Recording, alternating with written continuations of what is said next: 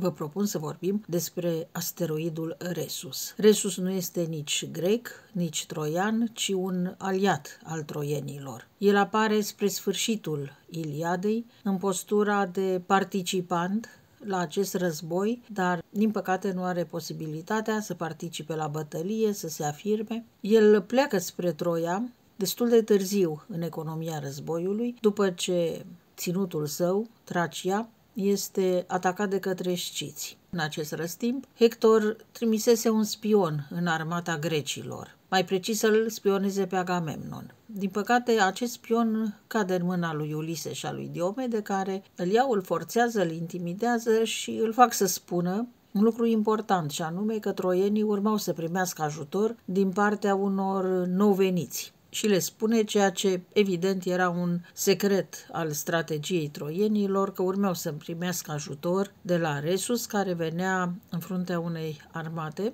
să contribuie la consolidarea pozițiilor troienilor. Auzind acest lucru, Ulise și cu Diomede organizează un desant în tabăra tracilor în timpul nopții când aceștia dormeau și omoară pe toți, ba mai mult, fură și celebra armură a lui Resus, care se spune că era splendidă, era făcută din aur, strălucea ca lumina soarelui și stârnea numai invidie, dar și pofte de a intra în posesia ei. În felul acesta se încheie viața și povestea lui Resus.